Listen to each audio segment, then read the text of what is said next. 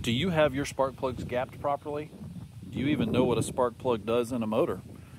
I thought it'd be important to start covering some of the basics of car maintenance for those individuals who may not have been exposed to it and don't know what it is when the shop says, we need to replace all your spark plugs. Or somebody says, did you gap your spark plugs properly?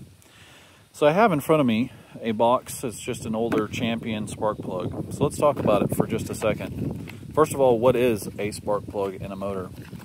Well, the spark plug is a very important part of your engine.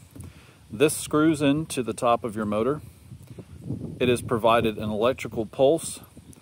And if you look at this, that gap that's in between this electrode and the bottom part of this spark plug, there'll be a small spark that happens. That's the reason why it's called a spark plug. And it ignites the fuel, and that's what makes your engine run. That's the simple version of it. But when you buy these, as you can see, there's a gap in between those two components. Now, most spark plug manufacturers pre-gap these, and so you don't need to do anything. But I do recommend that you get yourself a spark plug gap tool. Now, this one is so old, it was actually a copper version.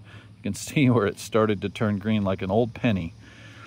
But your manufacturer of your car vehicle will say exactly what the spark plug gap needs to be. And all you do is take this tool, and you can see it's got a tapered edge, and you slide it into this gap. And that is how you can create more or less gap. I always check every spark plug that I replace, even if the factory says that they have gapped it. Here's another thing. If you were to accidentally drop a spark plug right here, check it for damage. Check to make sure that this gap hasn't changed. This gap can lead to engine knock, ignition problems, poor fuel mileage. I mean, there's a ton of different things that can happen.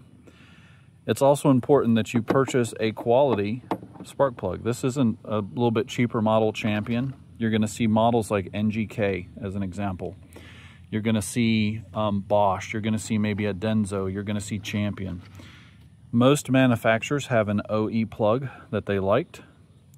Try to get the OE plug, the original equipment. There's also a difference in spark plug temperature. We may cover that in another video. So unless you've add a turbo or supercharger, stick with the OE temperature rating as well. That's your quick intro to spark plugs. Keep wrenching. Have a good time. One Goofy Garage.